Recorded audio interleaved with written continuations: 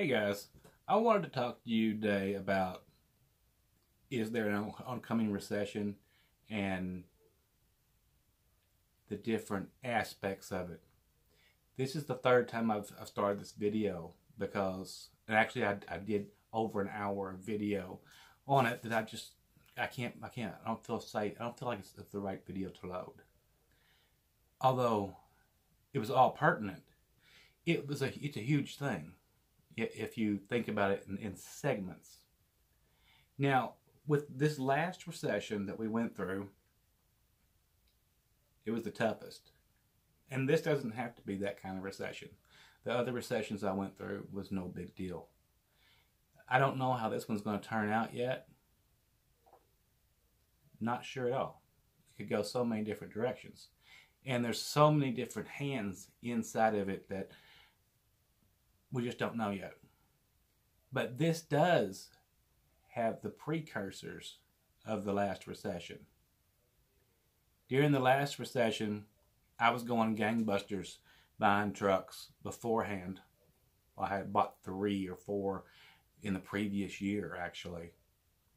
And I was making great money, right? My trucks were all leased on at a percentage company. I wasn't running my authority like I had been in previous ones. But I, I was at, at, at CRST actually, doing really well. But I noticed around um, September or October of, of the previous year that the, the rates were dropping and the freight was getting scary, scarce. Now, these companies, they all have these giant pools of of freight sitting in yards all over the place being stored on trailers. We are now the we're not just truck drivers. Our companies are storage facilities for freight. Now, when Lehman Brothers first hit and started going down, that was a real good precursor of what was going on. Now, fuel was also going up. But that's that wasn't a bad thing since I was at a carrier. It's hard not to get on off topic on this because there's so many different avenues to go in. The, fa- the fact that I had substantial investments during this time was one of the things that helped me survive it. I had a huge money pool at my back because I had been saving money for a long time. Saving money is real important. However, you're saving it or making it or whatever on the sideline because these are sidelines. But the second, when Lehman tanked, I held on to my stock and I had bought it at good prices. And I always go back to Lehman because it's such a good a good precursor. And then it did a little bounce thing, right? And I sold it on the bounce. And I ended up not losing very much money. Some, but not, not a huge amount. Around December of, of 2008, or whatever year it was, 2009, um, I decided to go back into Lehman because it was at such a horrible low that I figured I could parlay what I had made and I did, right? So I stuck it back in there when it dropped down terribly low. And then a few months later, boy, they were, I was sweating bullets at, during this whole time, right? It jumped back up for a few days and I resold that profit. And there was a whole time frame I had to wait a specific amount of time before I could buy or sell or anything, right? So when I sold, I ended up making another really big cash cow off of Lehman's demise, actually. Maybe I should feel bad for that, but I don't think so. It was my money. I'm the one who's gambling it. Now, the precursors to these kind of recessions are, they work in a certain way, right? Like I said, you don't generally know if you're not keeping your fingers on the pulse of, of many different sectors that things are tanking. Now, if you're keeping your pulse on it, you can see what's coming ahead. You know, watching the price of oil. It can go up or down in a recession, but it will ultimately go back up, right? But you look at things like a little bit of hyperinflation going on. That's never good. And you want a steady economy, otherwise, you have to ride the highs. Just like that, right? You skip, skip the waves, and you and you keep keep going. But when you only look at certain things, like oh my God, freight rates are so high, volume is up. If you've been looking at that for you for the last few years and going, everything is great, I've been looking at it for the last few years saying it's getting ready to tank. Because that's what it does. It it, it inflates and then it falls. Inflates and falls. And it's been inflated so high, so high, that's why I haven't run out and bought more trucks in the last few years. Buy at the low, sell at the high. And that's what I, how I always play that, right? I'll buy, I'll end up buying during during a low more trucks. I'll run them for a year, two years, whatever, right? If I see it, if I see the process leveling out, then that's fine. But then if it starts dipping again, then I'll sell them again. But recessions always have precursors. Like five or six months out from a recession, you'll have a dip. Right? Or two years out, you'll have a big dip. And, and then you'll come back up. Everything can't stay high. And I know you may not understand that, but what I want you to do is do some Googling about precursors to recessions. I'm not going to sit here and read all this stuff to you. That would mean I would have to write. I'm not good at that.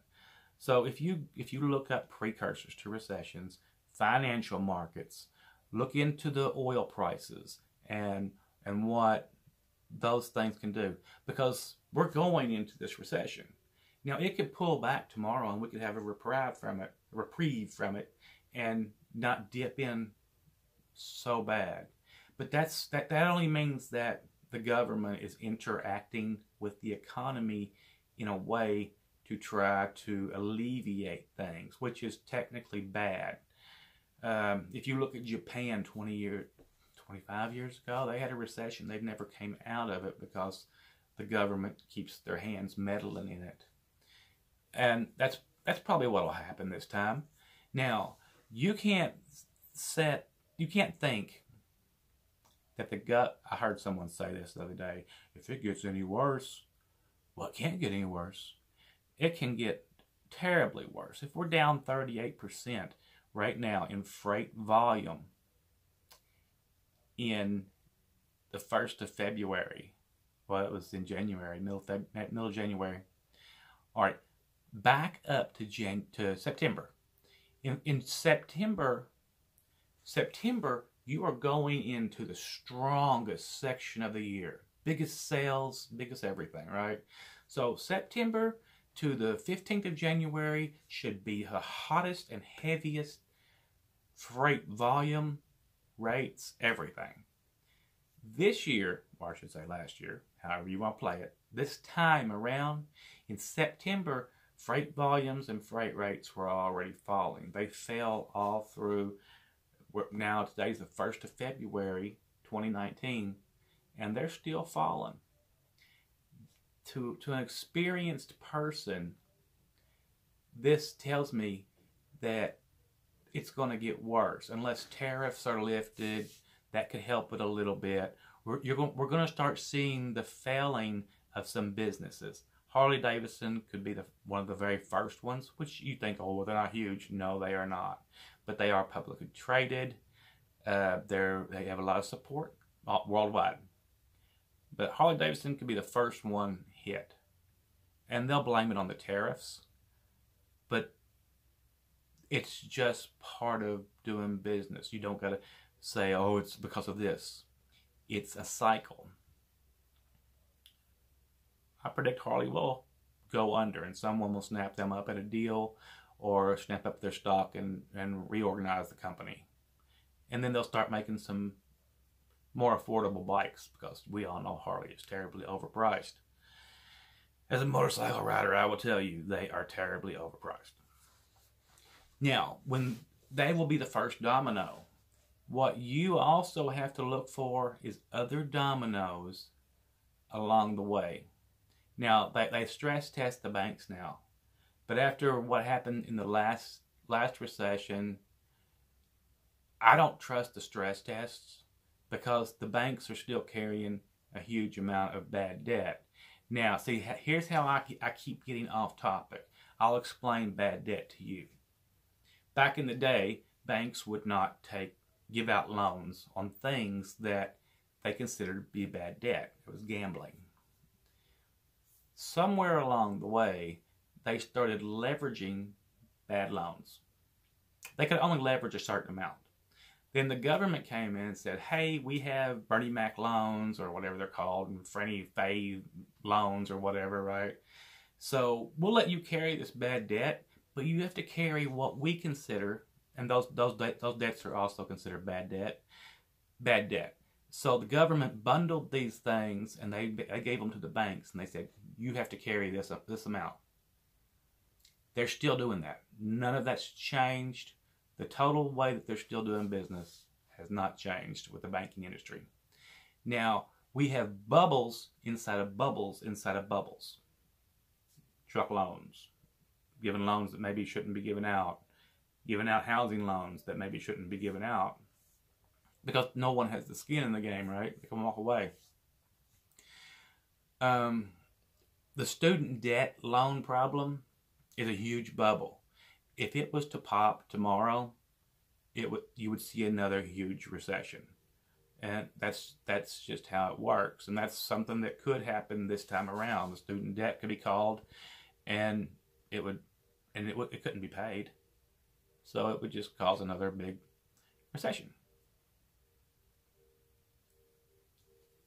Today February the 1st, like I said. In, let's say, mid March, somewhere in that time frame, all of these yards that have large stockpiles of trailers that are full of of commodities, right? those yards will probably be emptied out. If they don't have orders and money, then those trailers will not be refilled. Can you see what the recession is all about now? That if you're with a mega carrier and you're rolling up in there and picking up those loads, it's not a live load most of the time, it's because it's preloaded. That's great, right? Now, when, when we talk about running to mega carriers, this is where you're going to have to play it tight during a recession. You may have to run to a mega carrier. And if you run to a mega carrier that pays a percentage, and if you're getting their, their loads and not their logistics load, then you'll still get a good percentage. All right. Now remember, these lots are full of stuff that's getting shipped. They're not reloading the trailers at the volume that they was pre-recession, right? So at some point, don't be afraid to jump ship. If you're at that mega carrier getting a percentage and they run out of freight, jump to a jump to a mileage contract. Secondly, right? But they're gonna those guys are gonna be at the same in the same position. If you've ever been leased on with their car- carrier and you've been sitting there for three days, and you're like, there ain't no load on the boards, if you can run boards, and most people do not know how to do that or cannot do it. If the company says, "Well, we have a load for you, but don't load for three days," that's that's still their contractual freight that you're going to get a better rate on, un- unless their contract is up. So you're sitting there waiting, and everybody gets angry. It's a very hard time for all of us to sit there and wait for these loads. But you can't always find anything, and we get we're mad at them they're trying to service their customers. Now, where it really gets bad in, in these hard times, as things get harder, is that these mega carriers that have 5,000, 10,000 company drivers, and they have 1,000, 1,200, 1,500, whatever lease operators, they may tell you it's first come, first serve, but I've seen it happen so many times. You're next up in, in line, and then they, they, they pull the load and give it to a company driver or a lease operator or something like that. That's self preservation. You got to expect that. So while this recession comes into play,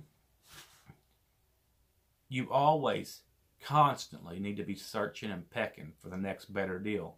I'm not one to jump companies, but in, in this time frame, you might have to. That really helped me that I had so many trucks the last time around that I, I would send them out in different directions to different companies, you know. LTL carriers do better in a recession in a lot of ways because a lot of things they still pay full truckload on. Otherwise, they're selling pieces of your trailer. And that works pretty good. It's always worked real well for me.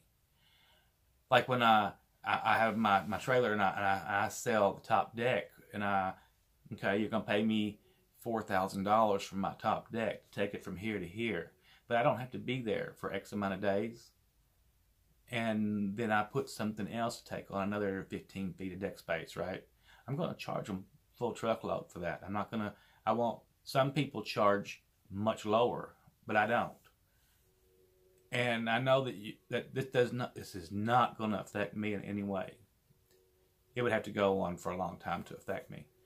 But I know that it's going to affect a lot of you guys, and that really worries me. It's like going to a party and everyone got drunk before they got to the party and they got there and threw up. That's kind of how a recession plays because so many people jump in the game of whatever sector that they're in during the the party or before they get there. They get high on the on the thought of it. And then when they get there and they realize that they're two hours late and they're sick and or whatever, the party's over to ride a wave, you get you you start with the party before the party, ride it to the top, and it, everything in there, how you play that ride, is part of it. I was just reading some articles on on a bunch of other things in the in our sector, and it's it's it, this was forecasted. It was forecasted in our sector for a few more months down the road. We're going into it way faster than anyone expected in the the big names in the sector, the the pieces, the people that that have their fingers to our pulse. I'll probably elaborate more on this next week or in a short period of time. Maybe give you a little history of the last recession, what can pull you out of it is if fuel does jack up, and it's supposed to, that won't hurt. It'll, it'll kill you if you're running the spot market and you're not factoring that in. But if you're running for a company, um, lease to them or, or whatever, you'll do great because you slow down and you'll get that, that big money for the fuel surcharge. Everything is included in what you have to think about in this market. But I will keep saying it tighten your belt, tighten your belt at home, and look for better options. Just keep your eyes open for the better option. You're going to find them options.